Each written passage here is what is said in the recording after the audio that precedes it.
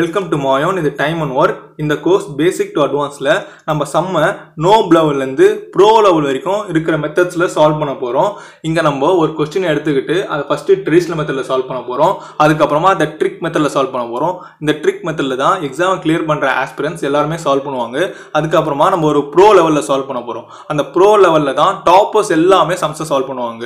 இந்த basic method இந்த traditional method வந்து பிகினர்ஸுக்கு ஃபஸ்ட்டு நம்ம பேசிக் ஸ்ட்ராங் பண்ணுறதுக்காக இந்த ட்ரெடிஷ்னல் மெத்தடில் செம்ம சால்வ் பண்ணி பார்க்குறோம். ஃபஸ்ட்டு இப்போ பேசிக் ஃபார்முலாவை பார்ப்போம். பேசிக் எப்பவுமே ஸ்ட்ராங்காக இருக்கணும்.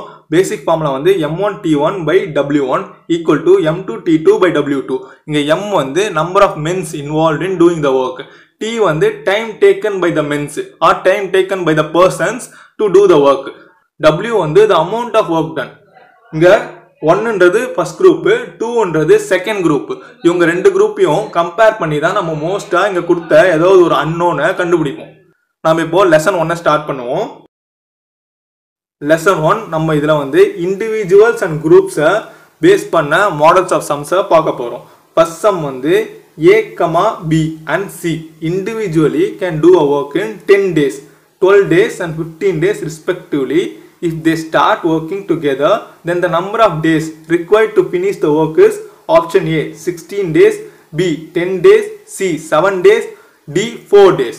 நம்ம இப்போ கொஸ்டின் அண்டர்ஸ்டாண்ட் பண்ணுவோம். இங்கே ஏபிசி எத்தனை நாளில் ஒர்க்கை முடிப்பாங்கன்றது டென் டுவெல் ஃபிஃப்டின்னு கொடுத்துருக்காங்க. இங்கே வந்து amount of work done by them அதாவது இண்டிவிஜுவலாக அவங்க எவ்வளோ அமௌண்ட் ஆஃப் ஒர்க் டன் பண்ணாங்கன்றது ஃபிக்ஸ்டு இப்போ வந்து அவங்க மொத்தமாக சேர்ந்து அந்த ஒரு வேலையை எப்போ முடிப்பாங்கன்றதை நம்ம கண்டுபிடிக்கணும். ஸோ இதை நம்ம ட்ரெடிஷ்னல் மெத்தடில் ஃபஸ்ட்டு பார்ப்போம். ட்ரெடிஷ்னல் மெத்தடு இங்கே ஒர்க் டன் வந்து ஒன்று நம்ம வந்து ஃபஸ்ட்டு அண்டர்ஸ்டாண்ட் பண்ணுறதுக்காக அந்த ஒரு ஒர்க் டன்னை அவங்க ஒரு புக்கை படிக்கிறாங்கன்னு நினச்சிப்போம். இப்போது ஏ வந்து அதை பத்து நாளில் படிப்பார்.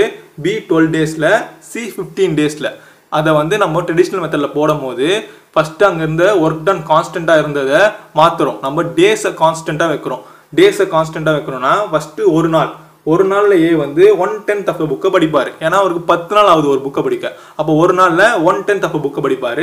பி வந்து one by twelfth of book C வந்து one by fifteenth of book இப்போ அவங்க டோட்டலாக A plus B plus C எவ்வளோ முடிக்கிறாங்கன்னு கேட்கறதால நம்ம எல்லாத்தையும் ப்ளஸ் பண்ணுறோம் one by ten plus one by twelve plus one by fifteen equal to LCM எடுத்தா sixty six plus five plus four fifteen fifteen by sixty one by four அதாவது இங்கே மூணு பேர் சேர்ந்து ஒன் பை ஃபோர்த் ஆஃப் புக்கை ஒரு நாளில் முடிக்கிறாங்க. அப்போ அவங்களுக்கு ஒரு புக்கை முடிக்க எவ்வளோ நாள் ஆகும்? அது அப்படியே ரெசிப்ரோகேட் பண்ணால் ஃபோர் ஃபோர் டேஸில் ஒரு புக்கை முடிப்பாங்க. இதுதான் நமக்கு தேவையான ஆன்சர் இது ரொம்ப சிம்பிள் மெத்தடு ஆனால் இது ரொம்ப டைம் டேக்கிங் நம்ம இதோட ரொம்ப சிம்பிளாகவும் ரொம்ப ஃபாஸ்டராகவும் போகிறதுக்கு தான் ட்ரிக் மெத்தட் இருக்குது அதை பார்ப்போம். ட்ரிக் மெத்தட் இங்கே ஃபர்ஸ்ட் லைனில் வந்து ஒர்க் டன் கான்ஸ்டன்ட் அதாவது ஒரு ஒர்க் செய்ய அதாவது ஒரு புக்கு படிக்க நம்ம எப்படி வேணால் இமேஜின் பண்ணிக்கலாம். ஏக்கு வந்து டென் டேஸு பிக்கு டுவெல் டேஸு சிக்கு ஃபிஃப்டீன் டேஸு இப்போது எல்சிஎம் எடுத்து சிக்ஸ்டி ஆக்குறோம். இப்போ ஏன் எல்சிஎம் எடுக்கிறோம்? ஏன்னா இப்போ டேஸை ஃபிக்ஸ் பண்ண. ஏன் டேஸை எல்சிஎம் எடுத்து ஃபிக்ஸ் பண்ணுறோம் நம்ம ஏதாவது ஒரு ரேண்டமாக ஒரு நம்பர் எடுத்து டேஸை ஃபிக்ஸ் பண்ணலாமான்னு கேட்டால் ஃபிக்ஸ் பண்ணலாம். கண்டிப்பாக பண்ணலாம். ஃபார் எக்ஸாம்பிள் நம்ம டென் டேஸ்னே எடுத்து ஃபிக்ஸ் பண்ணுறோம்னு வச்சுக்கோங்களேன். இப்போ ஏ டென் டேஸில் எத்தனை புக்கை படிச்சிருப்பாரு? ஏ வந்து ஒரு புக்கை படிச்சிருப்பார். ஏன்னா டென் பை டென் ஒரு புக்கை ஏ படிச்சிருப்பார். அப்போ பி வந்து டென் பை டுவெல் அதாவது ஃபைவ் பை சிக்ஸ்த் ஆஃப் புக்கை படிச்சிருப்பாரு. அதே மாதிரி சி டென் பை ஃபிஃப்டீன் அதாவது டூ பை த்ரீ ஆஃப் புக்கை படிச்சிருப்பாரு. இப்போ வந்து நமக்கு வேல்யூஸ் நிறைய ஃப்ராக்ஷனில் வருது. இதெல்லாம் கால்குலேட் பண்ணால் ரொம்ப செம்ம காம்ப்ளிகேட்டடாக போயிடும். அதனால தான் நம்ம எல்சிஎம் எடுத்துக்கிறோம். எல்சிஎம் எடுத்த டேஸை ஃபிக்ஸ் பண்ணால் நமக்கு எஃபிஷியன்சி எப்பயுமே ஒரு ஓல் நம்பராக தான் வரும்.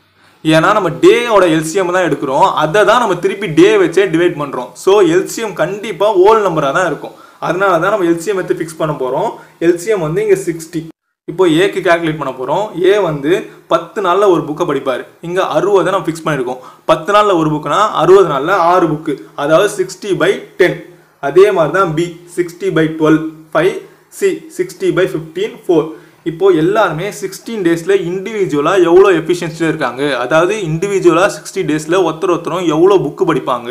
அப்படின்றது நமக்கு தெரிஞ்சிருச்சு. இப்போ டோட்டலாக இதை சம் பண்ணலாம்ல.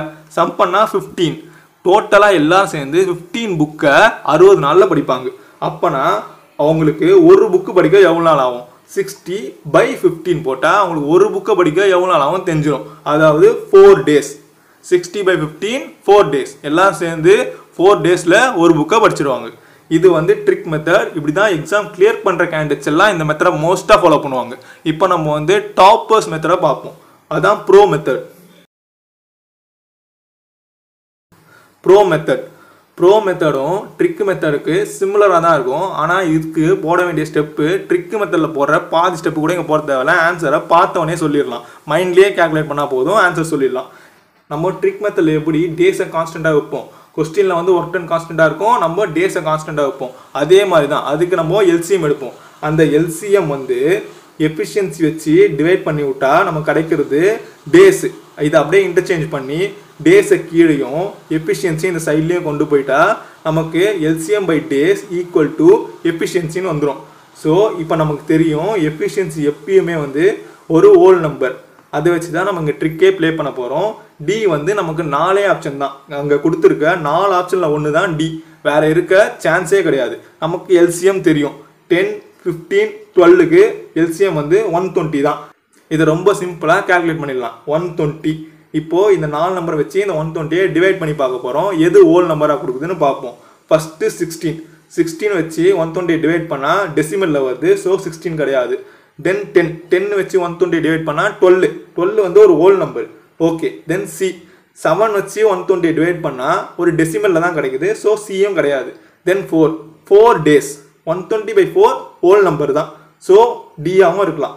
இப்போது ஆப்ஷன் பியாவும் இருக்கலாம். இல்லை டிஆவும் இருக்கலாம். ஏவும் சியும் கண்டிப்பாக கிடையாது. இப்போது பிஆர் டியான்னு எப்படி கண்டுபிடிக்கிறது? இப்போ கொஸ்டின் அவன் நல்லா பார்த்தா தெரியும். ஏ வந்து இந்த ஒர்க்கை முடிக்க பத்து நாள் தேவைப்படுது. அப்போ அவங்க கம்பைண்டாக முடிக்க எவ்வளோ நாள் தேவைப்படும்னு நம்மக்கிட்ட கேட்டிருக்காங்க. ஸோ ஏ மட்டுமே பத்து நாளில் முடிக்குதுன்னா அவங்க கம்பைண்டாக முடித்தா இன்னும் கம்மியான டேஸ் தான் இருக்கும். அதனால் நம்ம ஆப்ஷன் பி ஆன டென் டேஸையும் எலிமினேட் பண்ணுறோம் இப்போ டி மட்டும்தான் கரெக்ட் ஆன்சர் நம்ம இப்படி சிம்பிளாக சால்வ் பண்ணிட்டு போயிடலாம். Second sum, A and B can do a work in 12 days, B and C in 15 days, and C and A in 20 days.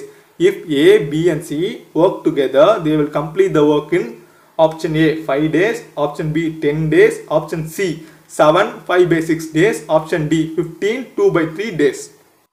நம்ம ஃபஸ்ட்டு கொஸ்டினை அண்டர்ஸ்டாண்ட் பண்ணுவோம். இங்கே பேரா ஒர்க் டனை கான்ஸ்டண்டாக வச்சுக்கிட்டு பேரா அவங்க எவ்வளோ நாள் எடுத்துப்பாங்க? ஒர்க்கை முடிக்கன்னு கொடுத்துருக்காங்க. ஏபி பேர் வந்து டுவெல் டேஸு பிசி பேர் வந்து fifteen days CA pair twenty days இப்போ எல்லாரும் கம்பைன் பண்ணால் எவ்வளோ நாளாகவும் ஒர்க்கை கம்ப்ளீட் பண்ண நம்மக்கிட்ட கேட்டிருக்காங்க. ஸோ போன சம்மில் இண்டிவிஜுவலாக கொடுத்துட்டு நம்மக்கிட்ட கம்பைண்டாக கேட்டாங்க.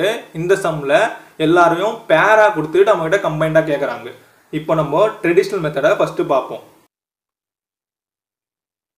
ட்ரெடிஷ்னல் மெத்தடு ட்ரெடிஷ்னல் மெத்தடில் வழக்கம் போல் ஒர்க் டன் வந்து கொஸ்டினில் கான்ஸ்டண்ட்டாக இருக்கும். நம்ம ட்ரெடிஷ்னல் மெத்தடில் டேஸை கான்ஸ்டண்ட்டாக வச்சுப்போம். இங்கே ஒரு டே கான்ஸ்டண்ட்டாக வச்சுக்கிறோம். ஒரு டேயில் ஃபஸ்ட்டு பேர் வந்து ஒன் பை டுவெல் ஒர்க் பண்ணுது. Second pair one by fifteen third pair one by twenty எத்தாக ஒர்க்காக பண்ணுது. இப்போ எல்லாரையும் கம்பைன் பண்ணுறோம் A plus B B plus C C plus A இது எல்லாத்தையும் கம்பைன் பண்ணால் two A two B two C கிடைக்கும். ஸோ அதோட மொத்த வேல்யூ எல்லாத்தையும் கால்குலேட் பண்ணும்போது எல்சிஎம் ஒன் டுவெண்ட்டி ஸோ மேலே வந்து ten plus eight plus six by one twenty போட்டால் ஒன் பை ஃபிஃப்த்து அதாவது அஞ்சில் ஒரு பங்கு ஒர்க்க two A two B two C முடிக்கும். அப்போ one A one B one C எவ்வளோ முடிக்கும்? பத்தில் ஒரு பங்கு. அதாவது ஒன் பை டென் இங்கே இருக்க டூவை கீழே கொண்டு போகிறோம் one by ten one by tenth of ஒர்க்கை one A one B one C முடிக்கும். ஸோ ஒரு நாளைக்கு ஒன் பை டென்த் ஆஃப் ஒர்க்கை முடித்தா அப்போ எத்தனை நாளில் ஒரு ஒர்க்கை முடிக்கும்? அப்படியே ரெசிப்ரோகேட் பண்ணால் பத்து நாள். பத்து நாளில் ஒரு ஒர்க்கை முடிக்கும். இதுதான் நமக்கு தேவையான ஆன்சர் இது வந்து ட்ரெடிஷ்னல் மெத்தடு இப்போ நம்ம ட்ரிக் மெத்தடை பார்ப்போம். ட்ரிக் மெத்தடு ட்ரிக் மெத்தடில் ஃபர்ஸ்ட் லைனில் ஒர்க்கை கான்ஸ்டண்ட்டாக வச்சுக்கிறோம்.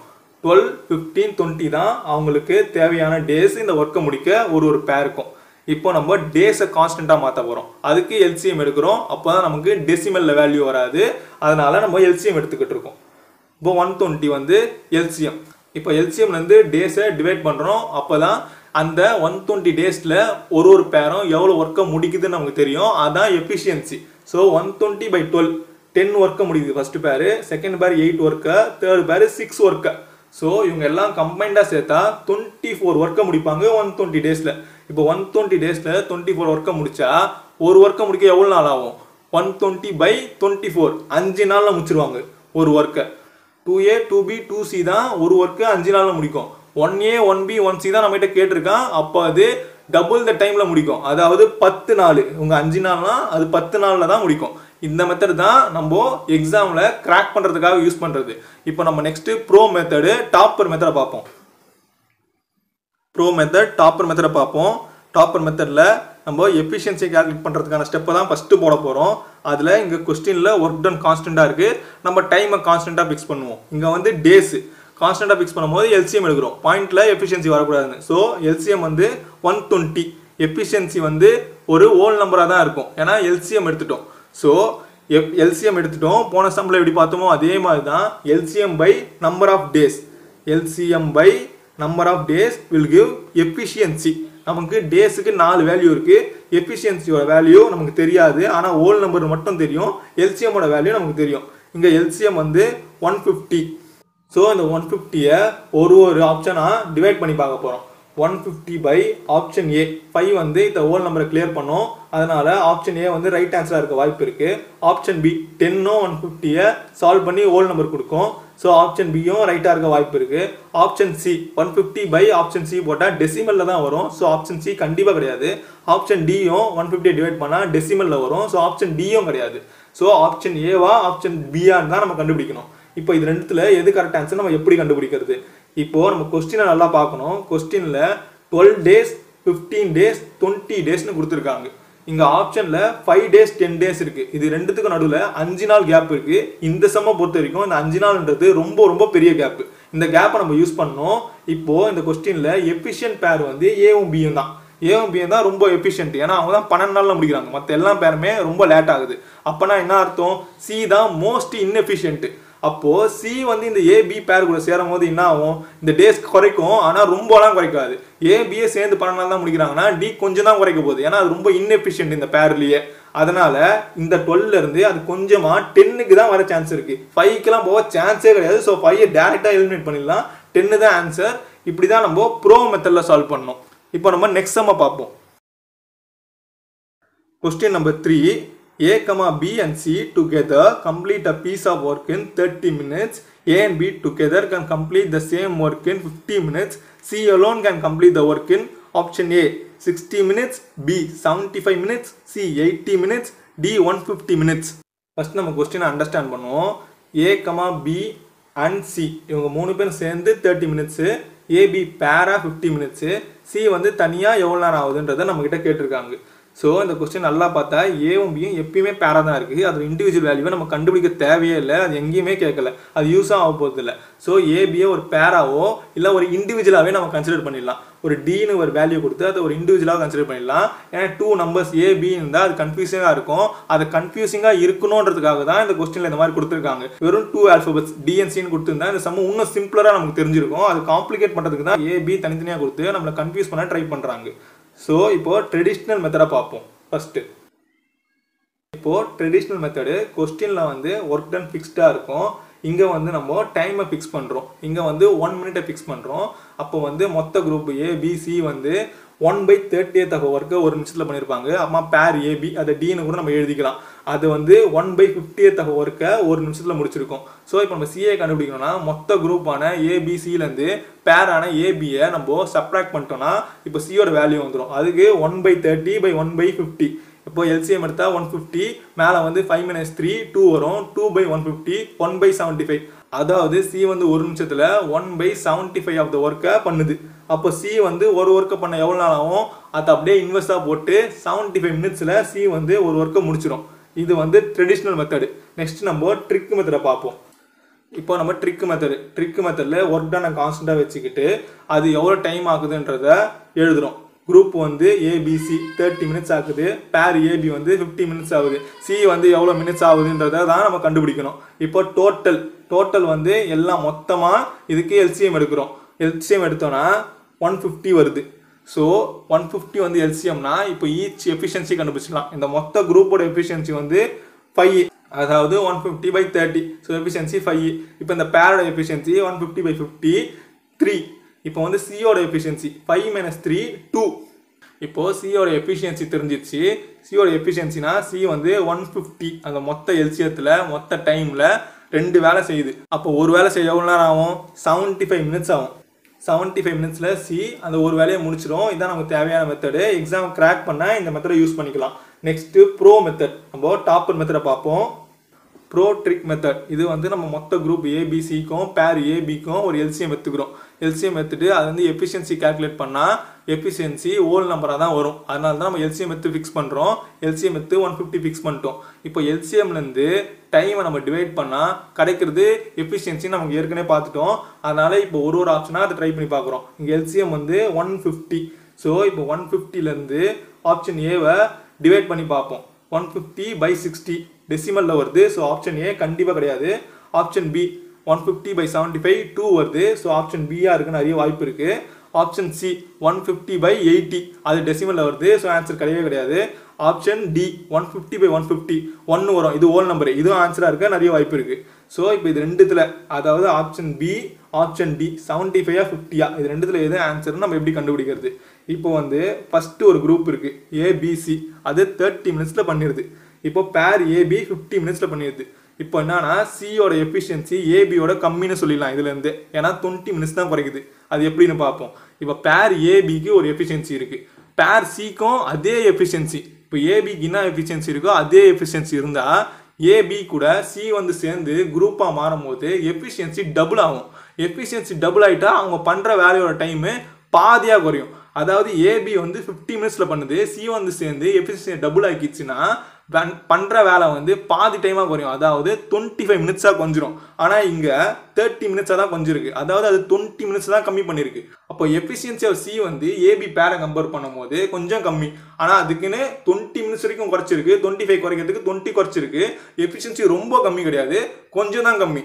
அதனால ஏபி பேர் வந்து ஃபிஃப்டி மினிட்ஸில் பண்ணுதுன்னா சியோட எஃபிஷியன்சி கொஞ்சம் கம்மினால கொஞ்சம் அதிக டைம் தான் எடுத்துக்கும். அதாவது செவன்ட்டி ஃபைவ் மினிட்ஸ் தான் எடுத்துக்கும். ஒன் ஃபிஃப்டி ரொம்ப அதிகமாக இருக்குது அவ்வளோ எடுத்துக்க சான்ஸே இல்லை. So option D clearly eliminated ஏன்னா இதுக்கு பெரிய கேப் இருக்குது அந்த கேப் எப்பயுமே யூஸ் பண்ணோம். ஆப்ஷனில் எப்பயுமே கேப் நிறைய இருந்தால் நம்ம ஈஸியாக யூஸ் பண்ணிட்டு போயிடலாம். ஸோ இப்படி தான் டாப்பர்ஸ்னால் சம் போடுவாங்க. ஸோ இதோட இந்த லெசன் முடியுது. இந்த வீடியோ யூஸ்ஃபுல்லாக இருந்தால் உங்கள் ஃப்ரெண்ட்ஸுக்கு ஷேர் பண்ணுங்கள் நீங்கள் நம்ம ஸ்டடி கம்யூனிட்டி ஜாயின் பண்ணோன்னா டிஸ்கிரிப்ஷனில் லிங்க் இருக்குது தேங்க்யூ